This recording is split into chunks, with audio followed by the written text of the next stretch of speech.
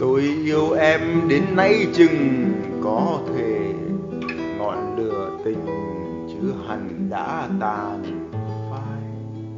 Nhưng không để em phải bận lòng thêm nữa, hay hồn em phải gợn bóng u hoài tôi yêu em âm thầm, không hy vọng lúc rụt rè khi hậm hực lòng ghen chân thành đầm thầm cầu cho em được người tình như tôi đã yêu.